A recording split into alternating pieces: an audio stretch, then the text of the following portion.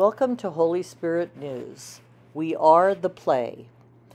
As each act is enacted, as each person takes their places, as each of us gets to the marks on the stage, we become the play. We are the play.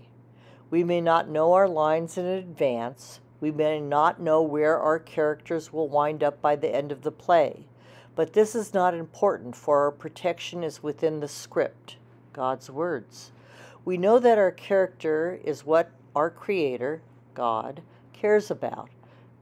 We need to deliver our lines in righteousness, love, and kindness. No matter what the play is about is not important. What is important is what we do while on the stage or earth. We move through each act wondering if the reviews will be favorable. Well done, good and faithful servant. But we also understand we will be back upon the stage tomorrow until the play ends death. Will we be able to continue to remember our lines and not falter or stay out of sin on stage? Until the present catches to the future, we will not have those answers. All we can do is try to be the children we were created to be, to serve the playwright, God.